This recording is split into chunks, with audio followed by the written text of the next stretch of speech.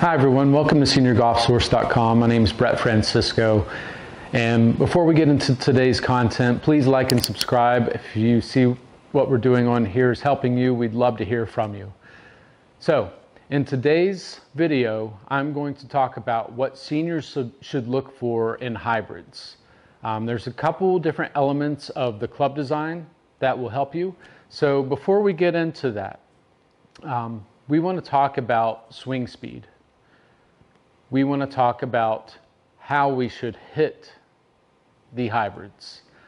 So when we're talking about the design of the hybrid, you know, there's a couple components that come into play. Just like any golf club, it has a head, it has a shaft, it has a grip. Basic, that's pretty straightforward. But the one big difference um, on the hybrid compared to hitting an iron is the loft of the number that you're hitting. So this is a four.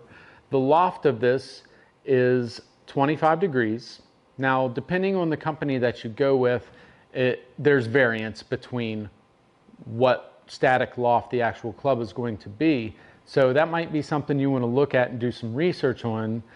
So if you're maybe a low ball hitter, meaning that the trajectory of your shots traditionally are very low, you're going to want to jump in and look at what hybrids maybe yield the greatest lofts. Now what we'll do is we'll go ahead and insert a couple links here, a couple shots, um, notating our favorite picks, and we'll also talk about the, the static lofts of the club to help you kind of streamline your decision making on what brand you're going to go with.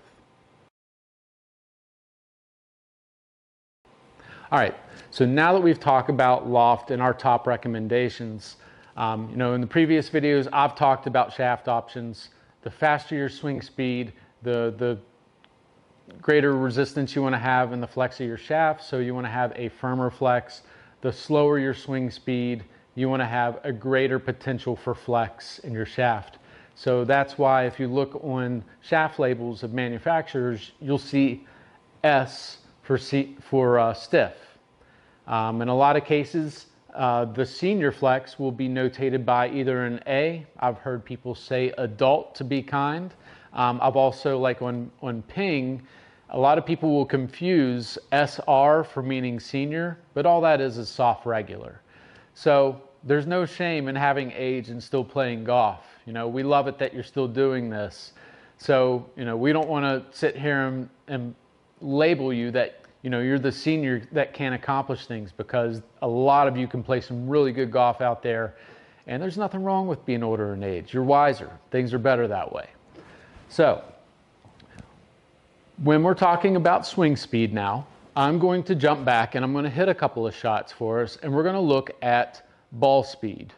And this is going to give us an indication of trajectory and, and our actual launch. So on purpose, I'm going to swing my normal speed and then I'm going to take another swing or two where I'm going to slow things down and we'll look at the trajectory that is presented on the, the screen to help us understand, all right, well, this shaft that I'm playing um, with a slower swing speed may not be a good match.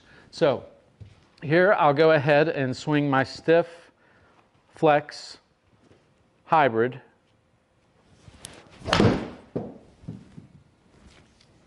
And if we look at trajectory, ball flight was very high up in the air um, and it landed very soft.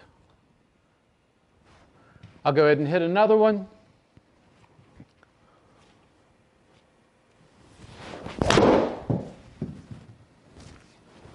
Again, kind of right on the same pattern.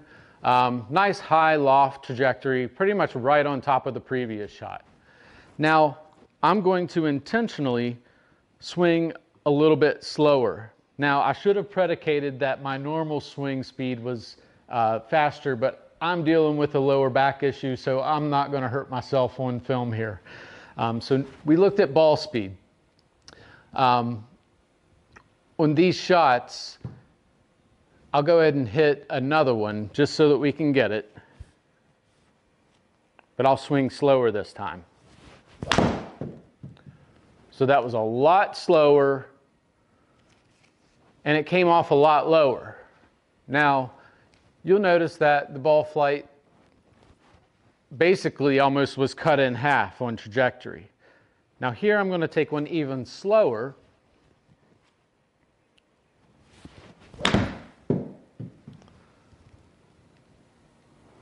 And if we look at it, you know, there's control there, but it's definitely a noticeable difference lower in trajectory.